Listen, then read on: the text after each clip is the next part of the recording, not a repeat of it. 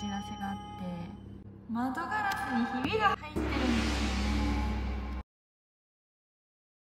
はつこチャンネル。皆さんお仕事お疲れ様です。はつこです。今日は人生初車検。イエイじゃないか。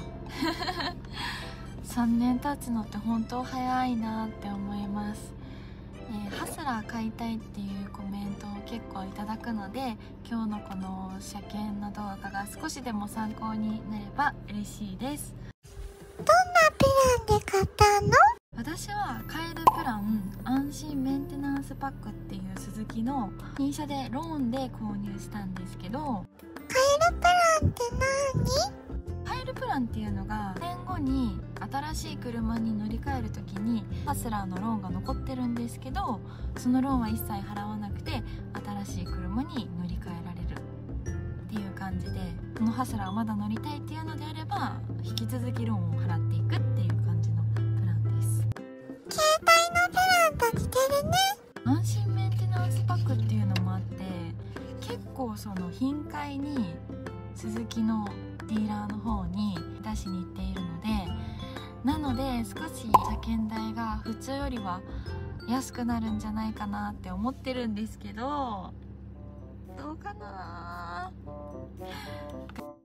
残念なお知らせがあって窓ガラスにひびが入ってるんですよね。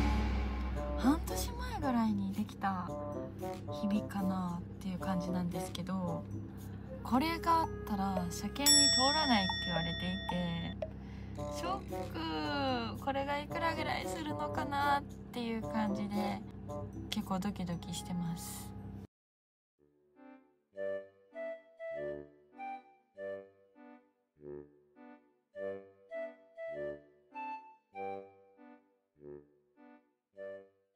はつこチャンネル。久しぶりに何もない車内ですすことはしばらくお別れだね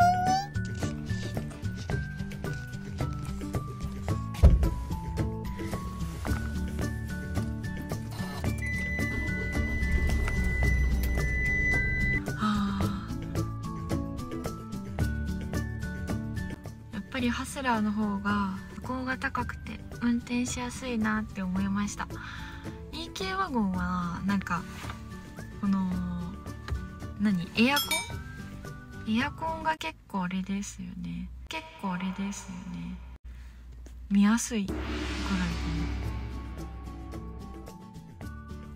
な。結構そのハンドルとかも硬いしドアを閉めるのにもやっぱ全然違う。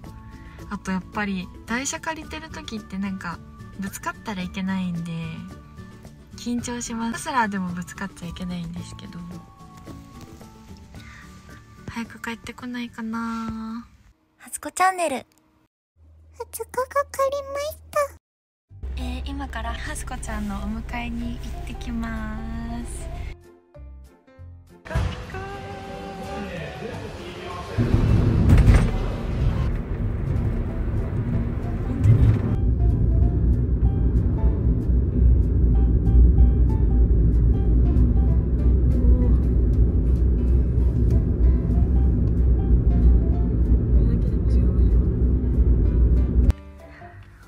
傷が治ってる。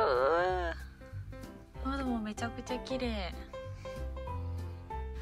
あすこちゃんが帰ってきました。ちょっとドライブしたくなったので、えー、結構走って海辺までやってきました。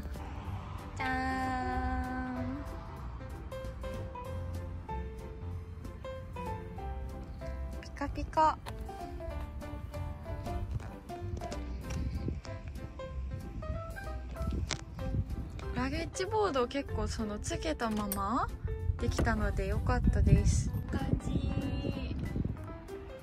綺麗ですね。なんかこれをこの綺麗さを キープできるように、えー頑張りたいと思います。金額発表の前にあの走行距離をちょっと見てみようと思います110100100万。4万5056キロ？平均燃費は22.3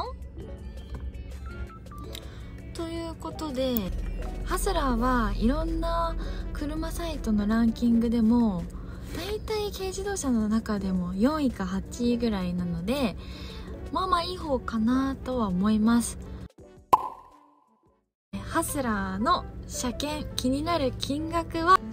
じゃーん車検帰ってきました。金額は？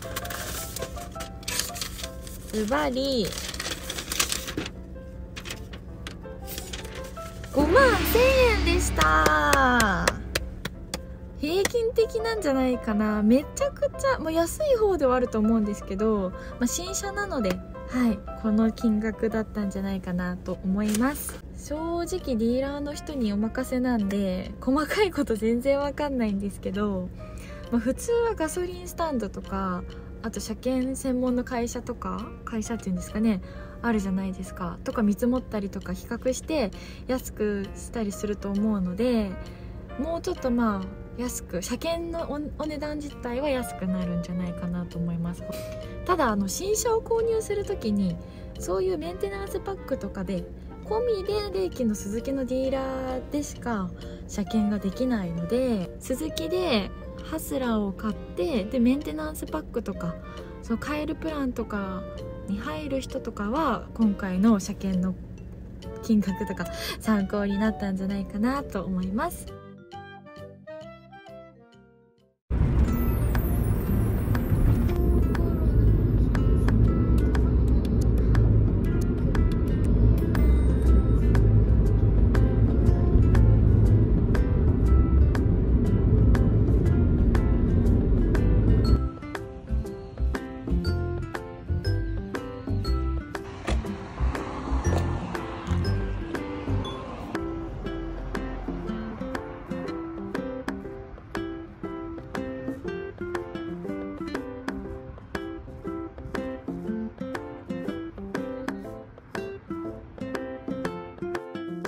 窓ガラスは？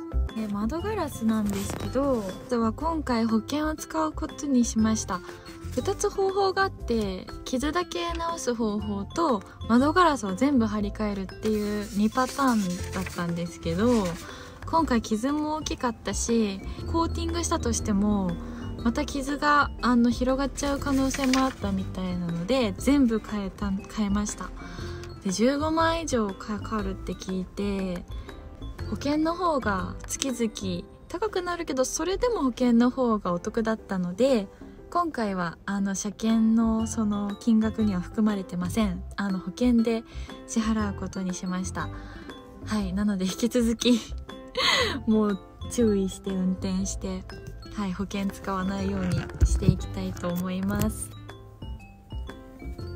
以上えー、何？車検動画でした。バイバーイ。